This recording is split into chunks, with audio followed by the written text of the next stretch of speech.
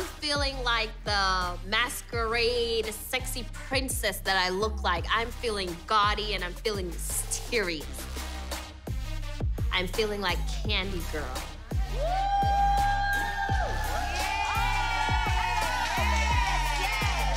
I'm seeing strippers and everyone in their lingerie. I'm like, whoa, these bitches look good.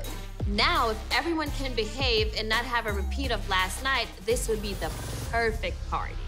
Mm, I don't like to drink, y'all. She gotta stop I just drunk last night. You see how crazy I was acting? But we like you, cray cray. Everybody don't like me cray cray. The room is safer if Shekinah doesn't drink, child. Her drunk ass last night is what started all the trouble, so maybe it is best that she doesn't drink tonight so that she won't start any more shit with anybody else. Drink it. Drink it. No, all of it. Ready? Go.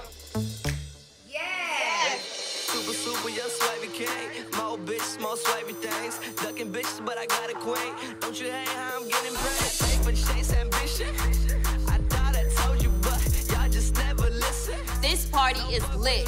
Drinks are flowing, DJ fine as hell. We going in, strippers. This is what I'm talking about, baby. This is why we came to Vegas. Erica's still being a bit bougie, but it's better than last night. I have to give her a point for that.